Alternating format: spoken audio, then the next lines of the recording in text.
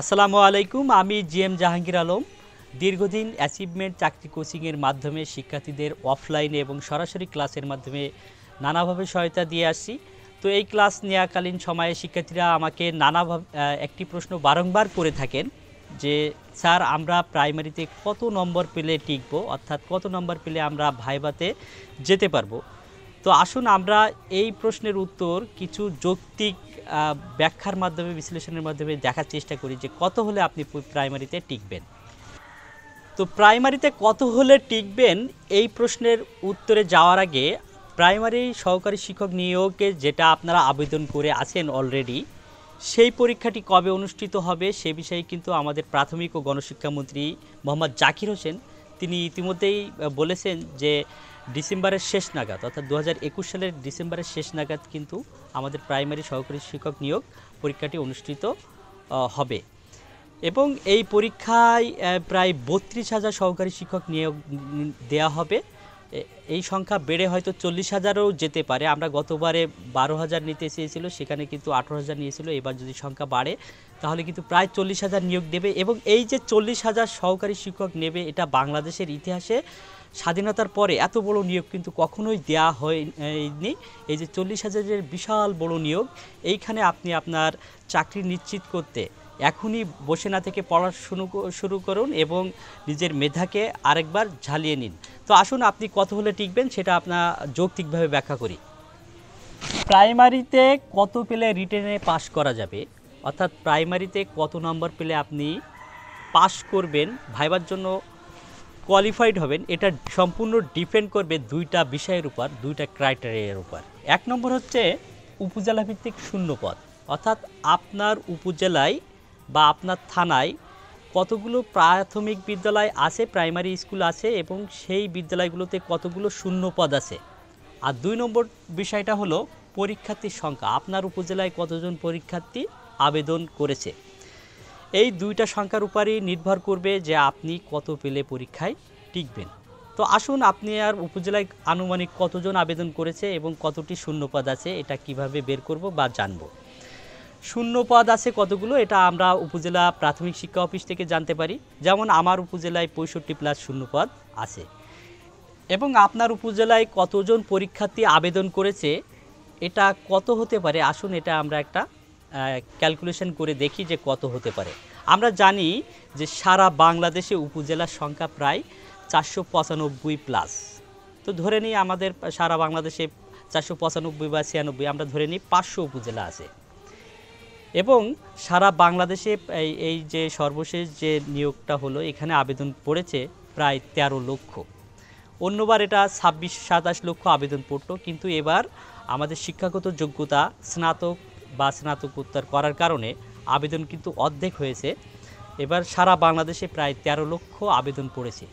তাহলে আমরা যদি তেরো লক্ষকে পাঁচ হাজার উপজেলা দিয়ে ভাগ দিই, তাহলে এক একটা উপজেলায় আনুমানিক কতজন আবেদন করেছে সেটা কিন্তু আমরা পেয়ে যাব।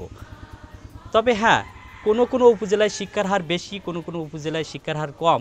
এই কারণে উপজেলা ভিত্তিক সংখ্যা একটু এদিক সেদিক হতে পারে। তা আসুন আমরা সারা বাংলাদেশে তেরো লক্ষ যে আবেদন করেছে, তাকে পাঁচ, পাঁচশো উপজেলা দিয়ে ভাগ দিয়ে দেখি কতজন করে পড়ে এক এক উপজেলায়।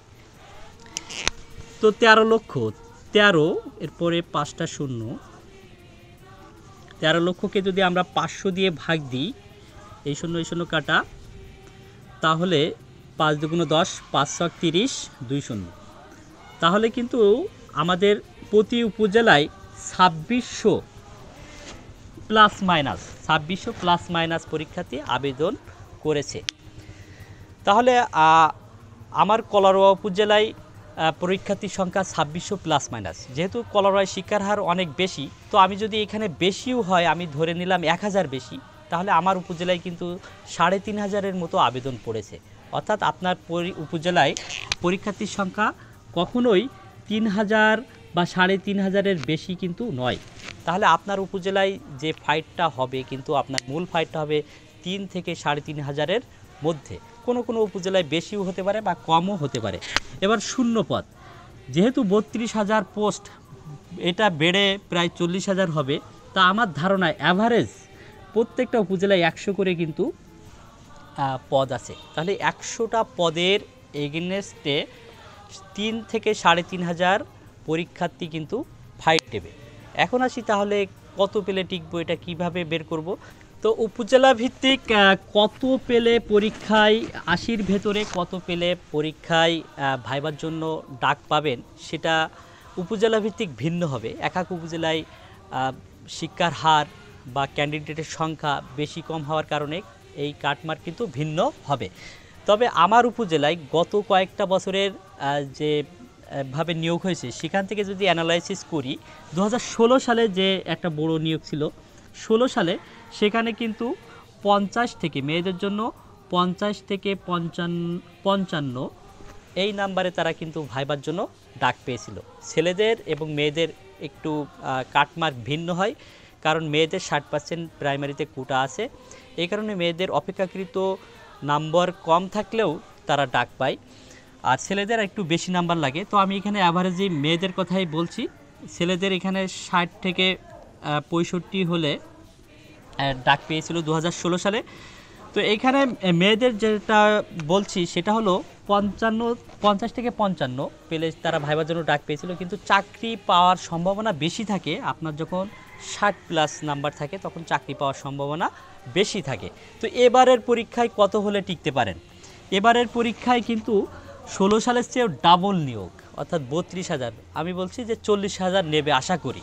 তো এই যে চল্লিশ হাজারে আমার উপজেলায় পঁয়ষট্টি প্লাস আসন খালি আছে। তো এখানে আমার বিশ্বাস পঞ্চাশ থেকে এবারও পঞ্চান্নর ভেতরে যদি আপনি পান তাহলে আপনি পরীক্ষায় টিকবেন, কিন্তু আপনার চাকরি হওয়ার সম্ভাবনা থাকবে যদি আপনি ষাট প্লাস নাম্বার পান। অর্থাৎ ষাট প্লাস নাম্বার পেলে আপনার চাকরি হওয়ার সম্ভাবনা, কারণ আমরা জানি এখানে রিটেনে আশি এবং ভাইবাতে বিশ। এই দুইটা যোগ করে যারা অ্যাভারেজে এগিয়ে থাকবে, তাদেরই কিন্তু চাকরি হবে। সুতরাং এই যে ষাট প্লাস আপনি রিটেনে তুলতে পারলে এবং ভাইবাতে যদি আপনি একটা ভালো স্কোর করেন, তাহলে আপনার চাকরি ইনশাল্লাহ হয়ে যাবে।